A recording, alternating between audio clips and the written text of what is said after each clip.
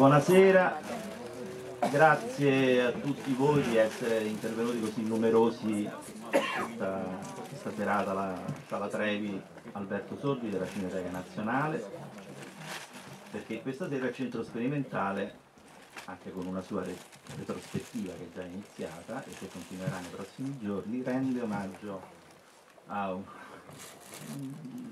un galantuomo degli schermi, un uomo schivo ma soprattutto un attore che ha saputo coniugare in maniera esemplare eh, la semplicità, la naturalezza, la misura, con grande equilibrio e così, con grande senso della recitazione. E queste sono doti essenziali nell'arte della recitazione. Eh, noi del Centro Sperimentale Cineteca Nazionale gli abbiamo dedicato una pubblicazione di cui autore Roberto Liberatori, che stasera è qui con noi ovviamente. È una pubblicazione che abbiamo realizzato con il nostro staff editoriale in eh, coedizione con Teche, che ringraziamo molto di avercela proposta. Eh, Teche questa sera qui è stata tra l'altro eh, offrendo la, la, pubblicazione in anteprima per chi la desidera anche acquistare, qui all'uscita dalla sala. Io ringrazio in particolare eh, Laura Delicolli che tutti conoscete, che è stata così cortese anche stasera di assisterci in questa intervista con l'autore. Io non, non faccio altre, altri preamboli, cedo senz'altro la parola a Laura e a Roberto, mm, semplicemente riportando il saluto chi non c'è, per, purtroppo per un'influenza improvvisa, cioè presidente eh, Stefano Rulli e il direttore generale Marcello Foti che aveva un altro impegno. Io vorrei com cominciare subito ad entrare nel, nel, discorso. Per noi è stata un'impresa un molto faticosa ma eh, di grande soddisfazione. Noi abbiamo creduto in questo progetto che Roberto mi ha presentato diversi mesi fa, ci abbiamo creduto in fondo, è un volume... Eh, eminentemente biografico, ma è un, non è soltanto un grande omaggio, è un approfondimento eh, attento e importante sulla figura di, di questo gentiluomo del cinema italiano. Eh, e vorrei chiedere innanzitutto a Roberto, prima di cedere la parola a Laura che lo intervisterà, eh, come è nata ovviamente l'idea di dedicare un libro a Massimo Girotti. Allora, eccoci, grazie.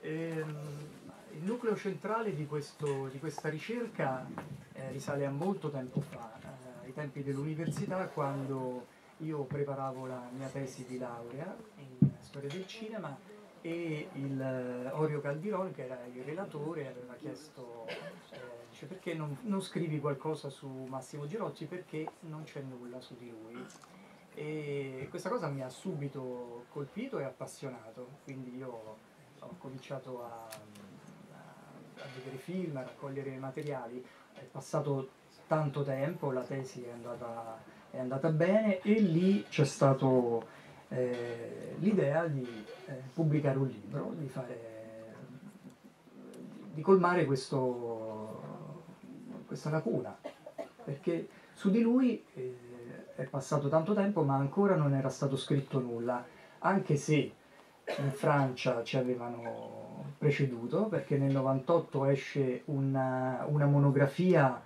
eh, scritta da un professore di liceo parigino, Michel Azzopardi, che eh, ha fatto questo libro eh, piccolo eh, ma appassionato anche se imperfetto diciamo, nelle, nelle informazioni. E, ehm, questo mi ha, mi ha, stimolato ancora ad andare avanti. Poi, insomma, la vicenda è abbastanza, è abbastanza lunga, è fatta di rinunce, di, di, di, ritorni, di contatti con registi, con eh, tutti coloro che l'hanno, conosciuto. E, ehm, e faccio un altro riferimento che è quello del libro di Giulia Alberico, che era in realtà, perché sul Massimo era stato scritto una cosa molto bella, è una conversazione con Massimo Girotti. Eh, Giulia è, una, è, stata una sua amica e mh, questo libro raccoglieva tanti aspetti personali, anche molto personali, perché lui per la prima volta ha parlato di cose che aveva tenuto per sé e per me è stato il libro di Giulia una fonte di informazione e anche di ispirazione. Eccoci. Volevo salutare qui accanto a me Arabella Girotti, che è la figlia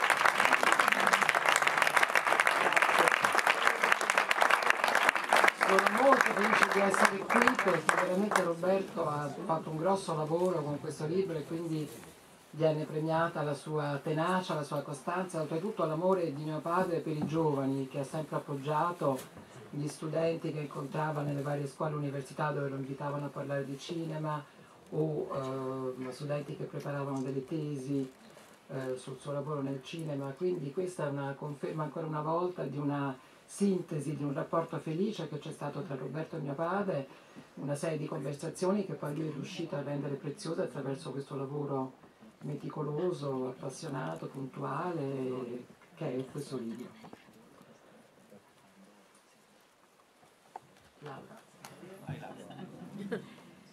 Allora, buonasera a tutti. Eh, io vorrei cominciare, a parte con un saluto speciale ad Arabella che ho incontrato negli anni, insomma, e poi perso per, sempre per cose di cinema, cose di, eh, mai, mai, legate, devo dire, a suo padre, perché invece ci siamo incontrati su altri percorsi. Però Arabella, come suo padre, ha questo tratto di, di discrezione, per cui mi piace molto sentire, eh, come abbiamo sentito poco fa, eh, così, dare un'etichetta a Girotti, l'etichetta del gentiluomo del cinema, perché io ho avuto pochi incontri con lui ovviamente e naturalmente in anni molto recenti, però mh, l'immagine che ho di lui eh, straordinaria, un po' stampata nella memoria, è quella recente eh, del set con Ferzan che era il 2002, credo perché fine del 2003, insomma, uscito in quegli anni, quindi forse fine del 2002 e, e devo dire che stata, c'era un'emozione particolare proprio nell'incontro con una persona che era stata quasi scelta per il tratto umano ma anche per, la, per il grande piacere di poter lavorare su un set con degli attori, eh, dei bravi attori contemporanei, però eh, con quello che ricordo che Ferzan eh, definì subito insieme a Gianni Romoli un monumento del cinema italiano, perché questo è stato anche Massimo Girotti. E, e, quando lo vidi con questo sguardo così azzurro, liquido, lontano, insomma, era perfetto proprio per il personaggio eh, di Davide, eh, che è stato il suo ultimo personaggio. Voi sapete che lui poi fin finito non l'ha visto. E, e questa cosa ha creato eh, anche nella, nella troupe, in, in, quel mondo, dico delle cose che forse avrebbero detto stasera qui anche altri personaggi appunto collegati a alla sua esperienza recente e a quel film, ma ne sono stata un po' testimone, da cronista naturalmente, e quel giorno sul set mi ricordo che era un esterno, era proprio lì vicino al ghetto, eh, mi veniva in mente sempre la, la, sua immagine che invece avevo conosciuto anni prima, sempre da cronista per un'intervista che avevo un po' inseguito e che è quella di cui racconto eh, qui all'inizio. Non so, mi, mi, fa quasi imbarazzo chiedere a Arabella se, eh, se leggendo questa, questa, pagina che ho scritto ha ritrovato i tratti.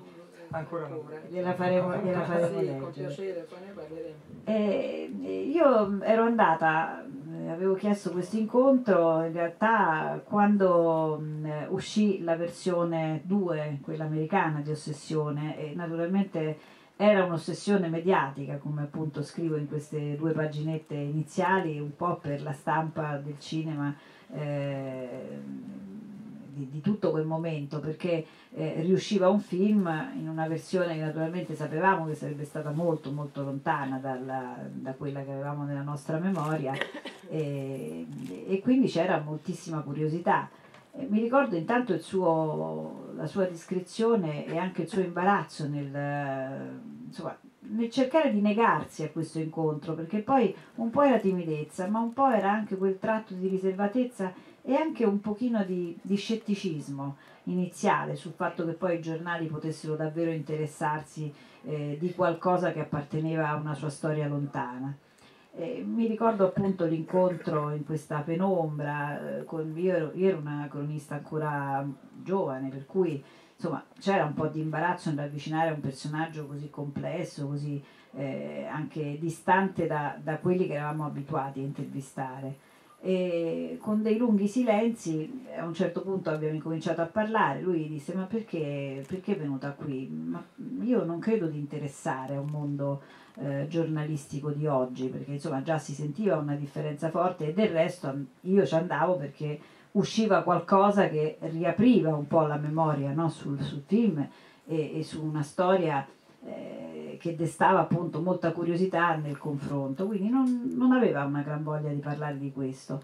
Però eh, poi invece decise di farlo raccontando soprattutto eh, cosa aveva rappresentato e questa era una delle mie domande più forti il tipo di eh, lavoro di rottura che era stato fatto con quel film anche su certi schemi eh, del neorealismo perché era un film improvvisamente molto forte, molto scandaloso eh, tant'è vero che insomma la, la, versione, quella che poi non ci è piaciuta più di tanto, eh, aveva preso l'idea del film e l'aveva trasformata in qualcosa di molto molto lontano e molto diverso e lui questo lo temeva.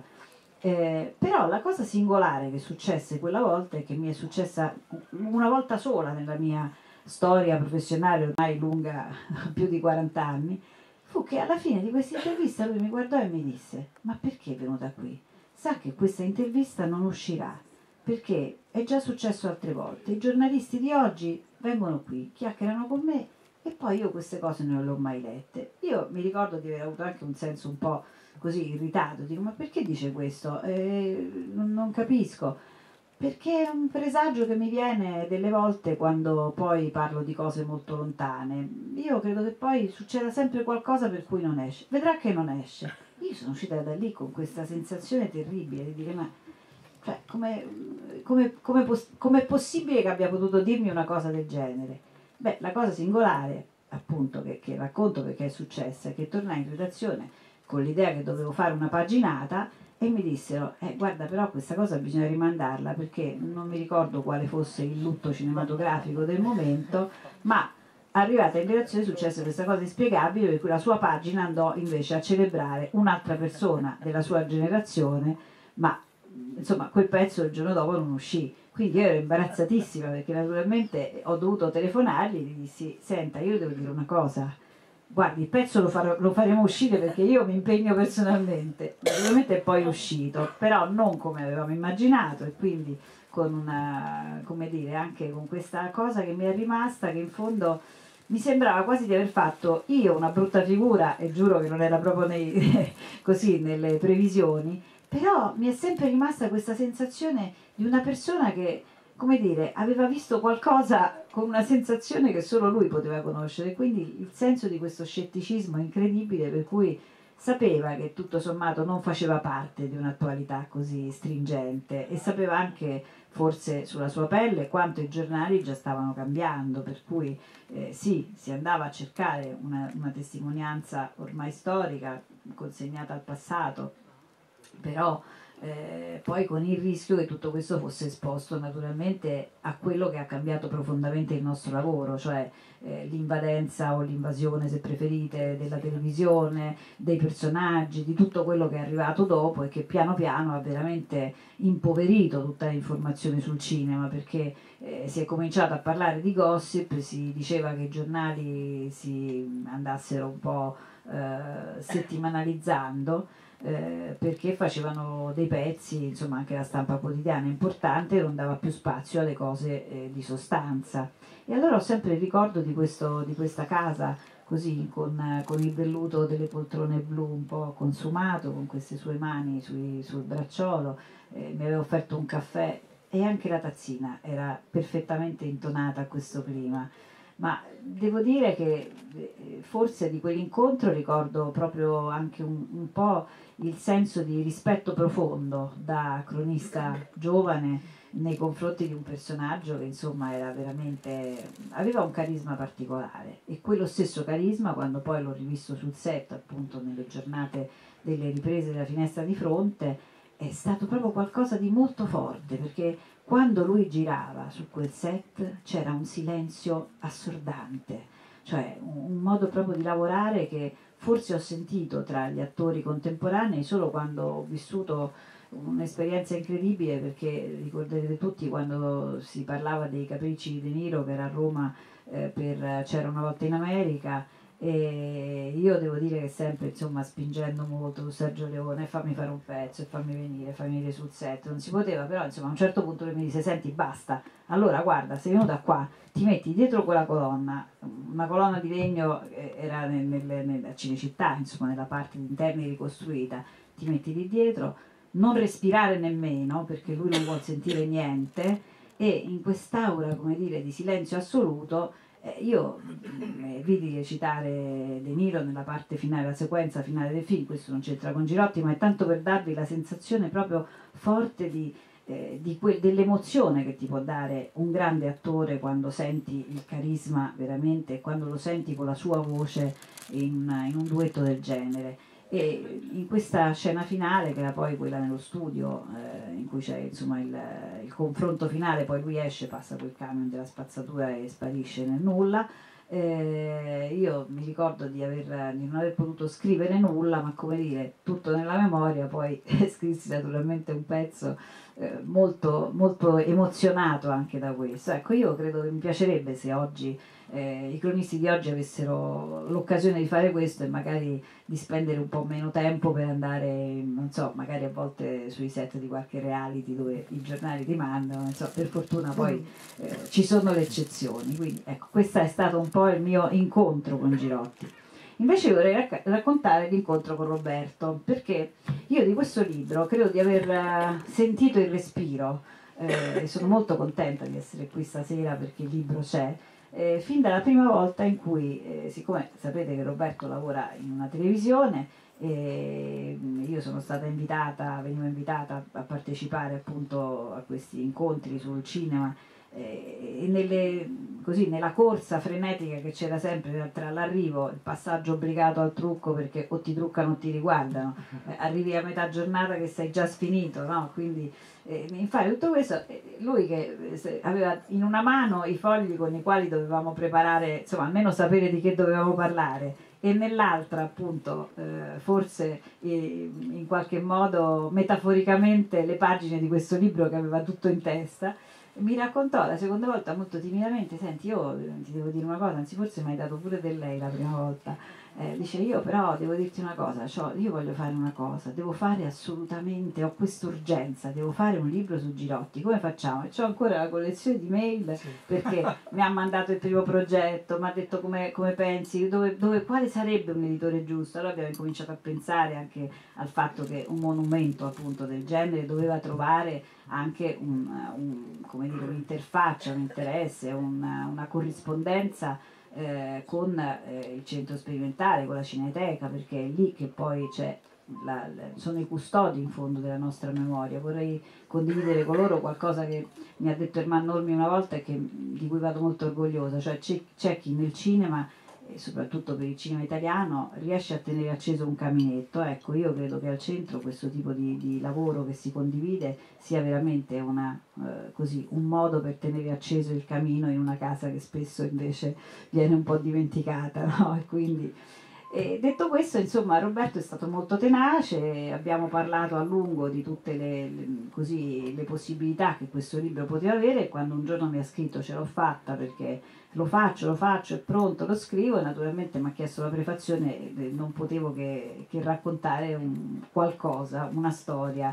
una testimonianza di questo incontro perché poi certo eh, io sono arrivata molto dopo e quindi non potevo fare, come dire, un saggio su qualcosa che forse anche lui da studente aveva studiato ben di più e analizzato ben di più eh, e che avevo potuto condividere forse con, con, un critico. Io mi sono sempre definita, anche se poi sono, oltre che insomma, scriverne da, da cronista, eh, certamente sono molto appassionata delle cose del cinema di ieri e di sempre. Ehm, però detto questo, insomma, mi preferi, preferisco definirmi giornalista, come tanti di noi che sono anche qui stasera, e non rubare un'etichetta che, che non ho. Eh, detto questo, Roberto va premiato veramente perché ha fatto una grande fatica, ci ha creduto, eh, è stata la sua piccola ossessione, per, ma anche la sua magnifica ossessione per un periodo veramente lungo e sono molto contenta per lui che sia riuscito a farcela e a darci questa bellissima testimonianza, anche perché il libro eh, è prezioso intanto perché credo che sia un bel risarcimento, perché Massimo Girotti è stato assolutamente dimenticato per molto tempo, come tanti dei grandi attori di allora, quando appunto fare l'attore era unire il cinema, ma al cinema e, e a questo mondo in uno splendido bianco e nero, eh, unire il teatro, l'esperienza, la passione, insomma qualcosa che faceva degli attori veramente degli artisti unici e che oggi un po' di, di pathos ce lo toglie sicuramente invece con, con tutta la vicinanza che, che, i media hanno in qualche modo eh, insomma, accorciando le distanze eh, hanno tolto anche un pochino forse di quel fascino che avevano questi personaggi. Allora io adesso mi taccio perché vorrei che invece Roberto ci raccontasse cosa l'ha appassionato di più di mm. Giotti, qual allora, è il tuo film preferito sì. per esempio. Allora innanzitutto è un respiro di cui parlavi che hanno che ho condiviso con tante altre persone, devo dire tantissime, eh, eh, parenti, colleghi. Devi dire grazie amici. a qualcuno, il momento. Eh, guarda, a tutti. In realtà prima venendo pensavo che eh, in fondo anche loro mi hanno tenuto acceso no? in, questa mia, in, questa mia, ossessione, ehm, perché anche nei momenti di scoraggiamento, quando tante volte l'ho, l'ho infilato nel cassetto e ho detto vabbè non si farà mai, pazienza, e loro invece mi hanno spinto ad andare avanti, a, a tenere duro, a, a, trovare nuove cose, quindi ogni tanto io facevo un giro di email e ricominciavo, no? Allora cosa facciamo? Chi posso eh, coinvolgere? E, insomma, eh, con Arabella anche ci, ogni tanto ci sentivamo, ci scrivevamo. E... Però è vero che io dall'inizio ti ho sempre detto lo faremo. Lo faremo, sì. Cioè, ero certa che una cosa, una cosa, di questo genere devo sì, dire sì, non poteva rimanere lo, lo faremo, quindi lo faremo. sentivo proprio questa, questa, urgenza e anche questa grandissima passione. Sì. Quindi insomma mi fa veramente piacere che poi... Io so, appunto per, per, tanto tempo l'ho tenuto nel cassetto perché eh, non riuscivo a trovare un editore che portasse a termine questa cosa. Tutti erano molto contenti, però poi di fatto non, non si concludeva nulla e poi invece così di editori ne ho trovati addirittura due, quindi la cosa è stata, eh, si è conclusa in una maniera perfetta. E, e Senti, Gino Costa, cioè Ossessione, è uno dei suoi personaggi sì. che tu ami di più. Sì. Però ehm, tu dici anche che le due immagini di Girotti che ti hanno più appassionato, con quella di Gino, eh, insomma, è, l'immagine della colonna di ferro, certo. quindi proprio il, il blasettiano, come dire. Eh, sono molto lontane tra loro. Molto, molto. Analizzando eh, questa storia e proprio facendo un lavoro semiologico su queste due immagini, che cosa ti dicono? Ma che lui arriva nel cinema perché era un uomo, un ragazzo bellissimo, era una creatura essenzialmente fotogenica e questa sua fotogenia, questo splendore viene premiato, viene capito da, da Blasetti che ne fa una star. Siamo nel 42, la Corona di Ferro esce nel 42 e lui eh, diventa una sorta di Tarzan italiano perché eh, Blasetti lo, lo veste, eh, anzi lo sveste, poi lo fa comparire come una sorta di Robin Hood, gli dà mille travestimenti, il suo personaggio è magnifico, esprime forza, coraggio e quindi lui quando il film esce alla mostra del cinema di Venezia e poi nelle sale italiane diventa, eh, diventa una star, diventa un attore eh, celebre. Che va sulle copertine dei rotocalchi e va ad aggiungersi a, a tutti gli attori dell'epoca, c'era De Sica, Gino, eh, Gino Cervi, Rossano Brazzi, eh, forse Raff Vallone era ancora presto, sì, ho visto, e la figlia, ecco, grazie. E, ehm, lui, l'incontro invece con Visconti sarà determinante perché è lui che lo trasforma in un attore sarà eh, la persona che eh, come una sorta di mentore per tutta la vita, lo accompagnerà e lo, lo, lo dirigerà verso dei binari eh, rigorosi dal punto di vista professionale e, e lui sarà, Visconti, per, per, per, Girotti una sorta di, eh, di guida per un'evoluzione che non era solo professionale ma anche intellettuale, culturale. Una volta eh, Arabella mi diceva, noi, io ricordo questi, questi Natali da, da Visconti, regali, a Ischia, cioè c'era un rapporto anche quando non era più professionale che eh, è durato tutta la vita. Ecco, lui è stato l'artefice di questo cambiamento sostanziale. Quindi suoi, questi due poli eh, a cui lui era in qualche modo costretto, perché poi è stato un bello per sempre, e quindi a un certo punto quando la carriera così era un po', eh, così, un po incrinata, veniva richiamato per... Eh, per essere Spartaco, per essere un gladiatore, insomma, trovava eh, un, um, uno spazio eh, in un cinema che magari non era considerato eh, di primo ordine, se così si può dire, ma che lo faceva lavorare. E quindi grazie eh, non solo alla sua, alla sua questa magnifica presenza scenica, ma ad un lavoro di introspezione, di, di ricerca, di questo bisogno di dare di più rispetto ad altri attori. Perché, dobbiamo dirlo, lui in qualche modo aveva una, un senso di inferiorità no? verso gli altri attori. Mi è sembrato di. Ma più che di, inferiorità era convinto che il suo successo fosse legato a questa, a questa forma fisica, alla fortuna di questo eh, fisico abbastanza straordinario che lo eh, avvicinava come senso ai divi di Hollywood, insomma era, era in qualche modo un'eccezione no? rispetto a, a, quello che più o meno si, si, conosceva in Italia, mentre in America forse c'erano molte più persone, molti più attori del suo genere, però fisicamente in effetti poi essendo stato uno sportivo, eh, dire, c'era tutta una situazione che sicuramente gli ha giovato. E, e ci ha messo molto tempo per sentirsi bravo. E la finestra di fronte è stato forse il coronamento di questo, di questo suo desiderio di sentirsi bravo, nel senso che per molto tempo non gli è stata data l'opportunità di incontrare un personaggio nel quale veramente rappresentarsi il protagonista della finestra di fronte, quando ormai aveva più di 80 anni, è stato l'incontro con, eh, con il destino in qualche misura, no? con, eh, con, il personaggio che lui avrebbe sempre voluto incontrare, che forse pensava di non incontrare mai più, perché insomma oramai gli ultimi anni lavorava poco e quindi eh, quello con Ospite è stato un incontro abbastanza magico, speciale, una grande opportunità sicuramente. Posso chiedere una cosa alla signora Arabella?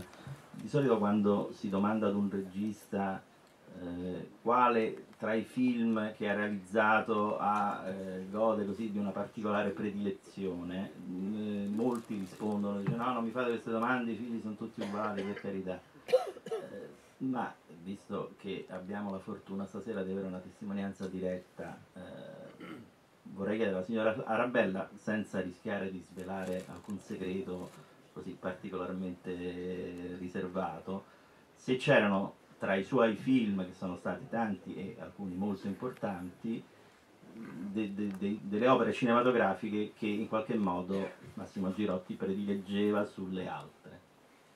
Tra i suoi film? Tra i suoi, quelli interpretati da lui. Ma non so, credo di non poter rispondere a questa domanda, non lo so, non me ne è mai parlato. E forse il suo rapporto era con tutto il suo cinema, con, eh, con il cinema genericamente, nel senso che poi lui aveva questa specie di gratitudine infinita per quello che il cinema gli aveva dato al di là del successo di attore eh, come persona, no? le opportunità per esempio di viaggiare, di entrare in situazioni speciali che non sono consentite alla, alla maggior parte della gente, questa idea della scoperta, la conoscenza e quindi io credo che abbia usato il cinema come mezzo per crescere, per, per eh, scoprire delle cose di sé.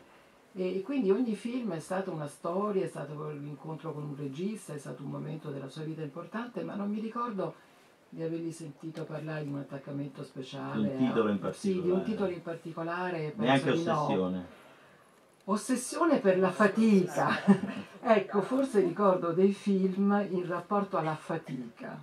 Allora, Ossessione, c'era questo racconto, mi ricordo in casa, eh, dove lui eh, ricordava questa la fatica di risalire il, il, il ghetto di fiume con questo corpo in braccio e, e, questa scena è stata ripetuta, credo, perché poi Visconti in particolare era molto esigente quindi non so, penso che forse cento volte gli avrò fatto fare questa scena, mi ricordo questo racconto o non so, un film di Pasolini, penso fosse Medea, dove c'era un'altra cosa di costumi pesantissimi in una situazione di Pierotosi, in una situazione di caldo spaventoso in Siria, quindi ecco, la fatica sì me la ricordo, ma il, ehm, diciamo un film nel quale si sia particolarmente riconosciuto forse no. O il rapporto con i registi mi ricordo, era molto importante. Allora, non so, l'incontro con Petri, De Santis era un suo grande amico, eh, Scola, Compassione d'amore, eh, ma parlava sempre di, di, vita più che di cinema, nel senso che il cinema, come dicevo appunto, era, era un mezzo per uno strumento per, eh, per, questa continuo, per questa sua passione di vivere, come ho avuto modo di dire altre volte, no? Di, di, conoscere, di scoprire, di saperne di più di se stesso, degli altri. Era, era, un lungo cammino, era un percorso senza fine, quindi un film era soltanto un, un pezzo, no? un pezzo di un percorso, di un viaggio. O anche di, di germi, per esempio adesso a seguire proietteremo Il nome della legge. Eh, c'è qualche ricordo particolare, qualcosa? Il nome della legge è una storia privata. molto privata, nel senso che il racconto, poi te ne avevo già parlato forse, di me bambina che insieme a mia, perché io sono del 48, quindi eh, ero piccolissima, di me bambina che con mamma attraversavo il deserto siciliano a rischio di incontri con briganti, non so, protetta da qualcuno della produzione. E, vabbè, questo è, è un gioco, una, una, così, una una storia di famiglia, comunque sì, sicuramente è stato un film molto importante, è stato importante il, il rapporto con Germi, è un film che è molto amato, sì, certamente. Posso dire una cosa che mi avete fatto venire in mente invece a proposito della bellezza. Ecco, la bellezza maschile con dei canoni assolutamente così diversi da quello che poi è, è arrivato dopo e se volete molto più eh, hollywoodiani per un aspetto ma invece eh, di una fisicità fortissima.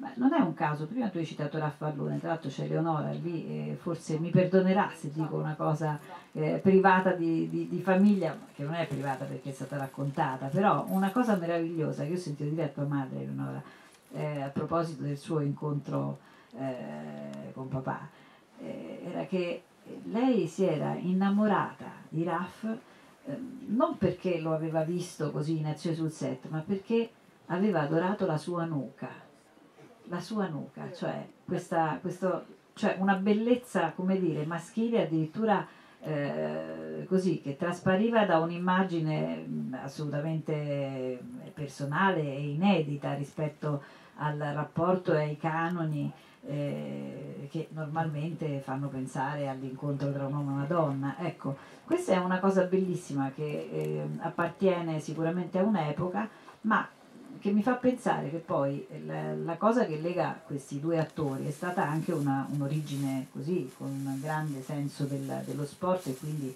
con una fisicità appunto molto forte sullo schermo. E poi però erano delle bellezze che evidentemente ispiravano anche non solo eh, così una, un senso forte del rapporto fisico, ma proprio anche una, un qualcosa in più, ecco, che poi sullo schermo evidentemente passava quindi erano immagini sì del Tarzan eh, come dicevi tu un po' all'italiano ma sempre con una fortissima percezione anche della, eh, come dire, di quello che c'era dietro ecco. e questo sapeva conquistare anche, anche, le, anche dire, le donne anche solo ad uno sguardo. Eh, quindi evidentemente insomma, c'era anche un canone diverso di, di rapportare sia la bellezza maschile che forse è anche una sorta di, di filo impercettibile che poi lo, legava ai rapporti col mondo, con le donne eh, e che li faceva guardare dalle donne, perché questa era la cosa meravigliosa, cioè la bellezza anche in queste foto che, di cui il libro è pieno e che sono le foto di, una, di un modo anche cinematografico di illuminare questi corpi e questi visi che appartiene a un'epoca poi finita con l'arrivo del colore, con, insomma, con una fotografia completamente diversa. Tutto questo ha una sua leggenda e credo che questo libro nel racconto ce la restituisca fino a film anche più recenti. Mm, presenterete quando interno berlinese della Cavani. Sabato sera. Ecco, sabato sera. Ah, a proposito, verrà Liliana Lei verrà, Cavani. quindi stavo giusto facendo un link perché ho sentito che lei ci sarà e, e credo che anche quello sia un film dove questa bellezza riemerge anche se in una maniera algida, completamente diversa. Del resto c'è un Girotti, e questa è forse l'ultima cosa che vorrei chiedere a Roberto, anche perché poi dobbiamo lasciarvi al film, c'è una, un Girotti che è piaciuto ai registi eh, internazionali, quindi al mondo de, del cinema d'autore eh, straniero, che è molto diverso, se volete, da, dall'immagine, da quello che, che, appare nei film d'autore italiani. E, tu l'hai colta questa differenza, cioè come lui è stato poi, tra virgolette, usato o, o le proposte che ha avuto dal cinema internazionale, dai registi stranieri? Hai sentito una, una certa differenza di immagine? Eh, no, questo, questo, non molto. Eh, diciamo lui era, aveva una fisicità che non, non andava spiegata né, né declinata.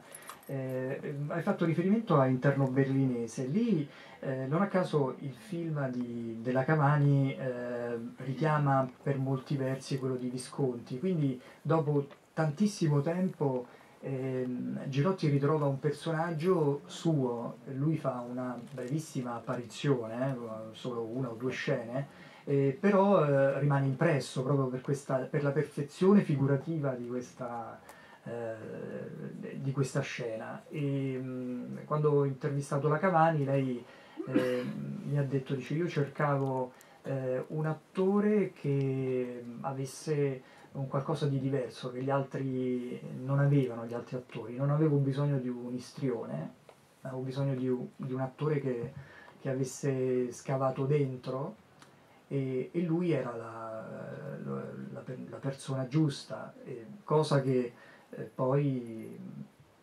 è confermata da, da, dal loro rapporto, che fu un rapporto molto, molto bello, anche se, anche se breve, legato a una piccola partecipazione. Senti, due, altri due nomi, eh, così proprio due intramuscolari, eh, Pasolini Medea e Ultimo Tango Bertolucci. Sì, Pasolini prima ancora Cose, Teorema, però, sì, certo. Teorema e... però in Medea è diverso perché questa bellezza non c'è più in Medea. Sì. Eh? Lui aveva questo, questi abiti di Piero Tosi, sembrava proprio un, un'icona, no? incastonato, aveva, era quasi spersonalizzato. E, questo, sì, il rapporto con Pasolini fu un rapporto, sì, lui aveva una grandissima stima no? di quello che considerava l'eretico della, della cultura italiana. E, eh, anche se poi il loro rapporto non è, non, non è stato di, con quella confidenza che lui cercava, no? E quindi aveva un po' sofferto anche in questa roba là. Mi ha raccontato un episodio molto, molto divertente che, li, che, che, aveva, che spiega questo, questo rapporto, no? Magari lo facciamo raccontare a lei, però vi, vi spiego. Insomma, lui, loro erano um, all'aeroporto probabilmente di Damasco e erano in attesa di, dell'imbarco e Pasolini era immerso nella lettura e lui diceva come, come sempre, no? Dice, sembrava veramente chiuso nel suo, nel suo mondo eh, dove gli altri difficilmente riuscivano ad entrare. Allora Massimo, eh, per rompere così questo silenzio, che stava leggendo in quel periodo di um, Joyce Ululisse, che non è certo una lettura facile, allora gli ha detto, dice, ma Pierpaolo, dice, ma, ma l'Ulisse e aspettava una, così, una, qualcosa e Pasolini si interrompe, lo guarda e fa, dice, il pane quotidiano. E, questa, e così finisce la loro, la loro conversazione. No? E questo eh, eh, appunto racconta questo, questo rapporto di, di, due uomini così anche silenziosi, no? così che, che, cercavano un contatto che più di tanto non arrivava. Bertolucci, eh, lui lo trova ed è uno dei suoi registi preferiti, sarà, perché è un regista che riesce a, a dargli quel sostegno e quell'accudimento che lui eh, eh, cercava sul set, perché era un attore che doveva essere portato per mano, quindi non domato da un regista ma accompagnato e quindi in questo ehm, eh, Bertolucci riesce a, conquistarlo. Lui, c'è questa scena famosa con Marlon Brando, ci sono anche delle foto. Senti, molti... A proposito, vorrei sapere da uno di voi due, ma è vero che lui si meravigliò quando Brando, eh, cioè pensava che Brando non sapesse eh, della sua storia, così e si meravigliò invece nell'incontro. Sì cioè lui sentiva di incontrare Marlon Brando, ma insomma non pensava che Brando non pensava sapesse. di essere conosciuto, invece eh?